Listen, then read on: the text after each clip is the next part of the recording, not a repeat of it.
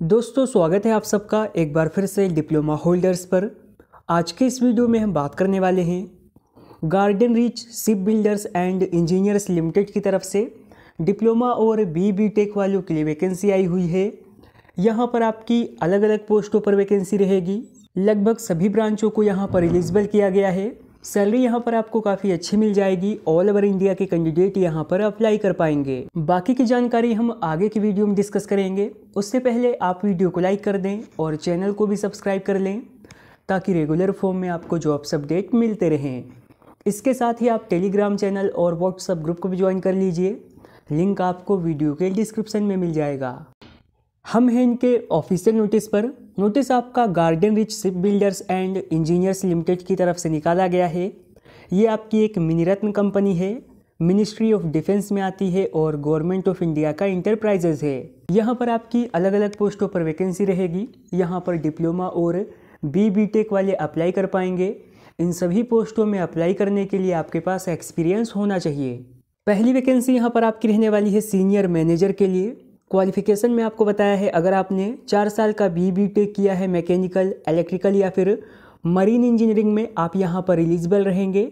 Salary यहाँ पर आपको सत्तर हज़ार रुपये से लेकर दो लाख रुपये प्रति मंथ मिलने वाली है। अगली वैकेंसी यहाँ पर आपकी रहने वाली है जूनियर मैनेजर के लिए। टोटल यहाँ पर आपकी चार पोस्टों पर वैकेंसी रहेगी। क्वालिफिकेशन में आपको बताया है, अगर आपने डिप्लोमा किया है मैकेनिकल सिविल या फिर आर्किटेक्चर इंजीनियरिंग में आपके पास एट ईयर का वर्क एक्सपीरियंस है आप यहाँ पर अप्लाई कर पाएँगे। अपर एज लिमिट यहाँ पर आपकी बत्तीस साल रहने वाली है और सैलरी यहाँ पर आपको तीस हज़ार रुपये से लेकर एक लाख बीस हज़ार रुपये प्रति मंथ मिल जाएगी। अगली वैकेंसी भी यहाँ पर आपकी रहने वाली है जूनियर मैनेजर पोस्ट पर। टोटल यहाँ पर आपकी पाँच पोस्टों पर वैकेंसी रहेगी। अगर आपने डिप्लोमा किया है इलेक्ट्रिकल इंजीनियरिंग में या फिर इलेक्ट्रॉनिक इंजीनियरिंग में आपके पास एट ईयर का वर्क एक्सपीरियंस है, आप यहाँ पर अप्लाई कर पाएँगे। सैलरी यहाँ पर आपको ई ज़ीरो ग्रेड की मिल जाएगी। अगली वैकेंसी यहाँ पर आपकी रहने वाली है जूनियर मैनेजर के लिए। टोटल यहाँ पर आपकी छः पोस्टों पर वैकेंसी रहेगी। अगर आपने डिप्लोमा किया है मैकेनिकल या फिर प्रोडक्शन इंजीनियरिंग में, आपके पास एट ईयर का वर्क एक्सपीरियंस है, आप यहाँ पर अप्लाई कर पाएँगे। सैलरी यहाँ पर आपको ई ज़ीरो ग्रेड की मिल जाएगी। अगली वैकेंसी यहाँ पर आपकी रहने वाली है डिप्टी मैनेजर के लिए।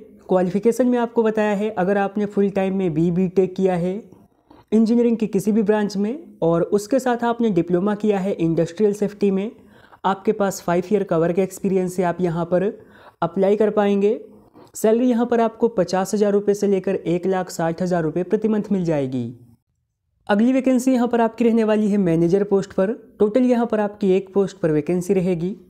अगर आपने चार साल का बी बी टेक किया है इंजीनियरिंग में आप यहाँ पर अप्लाई कर पाएँगे। इस पोस्ट में अप्लाई करने के लिए मिनिमम आपके पास एट ईयर का वर्क एक्सपीरियंस होना चाहिए। अगली वैकेंसी यहाँ पर आपकी रहने वाली है सीनियर मैनेजर के लिए। अगर आपने चार साल का बी बी टेक किया है मैकेनिकल सिविल इलेक्ट्रिकल या फिर कंप्यूटर साइंस इंजीनियरिंग में, आपके पास इलेवन ईयर का वर्क एक्सपीरियंस से आप यहाँ पर अप्लाई कर पाएँगे। सैलरी यहाँ पर आपको ई फोर ग्रेड की मिल जाएगी। और भी यहाँ पर आपकी काफ़ी पोजीशंस पर वैकेंसी हैं, जहाँ पर डिप्लोमा और बी बी टेक वालों को एलिजिबल किया गया है और इन सभी पोस्टों में अप्लाई करने के लिए आपके पास हायर एक्सपीरियंस होना चाहिए। आपकी मेन ब्रांच के अलावा आपकी जो भी एलाइड ब्रांचें हैं, उन ब्रांचों को भी यहाँ पर एलिजिबल किया गया है। ये जानकारी आप लोग यहाँ पर देख सकते हैं। बात करें आपकी एप्लीकेशन फ़ी के बारे में। अगर आप U R O B C या फिर ई डब्ल्यू एस कैटेगरी में आते हैं तो एप्लीकेशन फ़ीस यहाँ पर आपको पाँच सौ नब्बे रुपये देनी है। बाकी की किसी भी कैटेगरी को यहाँ पर कोई भी एप्लीकेशन फ़ीस नहीं देनी है। बात करें आपके अप्लाई प्रोसेस के बारे में तो अप्लाई प्रोसेस यहाँ पर आपका ऑनलाइन और ऑफलाइन रहने वाला है। फॉर्म ऑनलाइन होने यहाँ पर आपके शुरू हो चुके हैं 11 जनवरी से। लास्ट डेट यहाँ पर आपकी एक फरवरी रहेगी।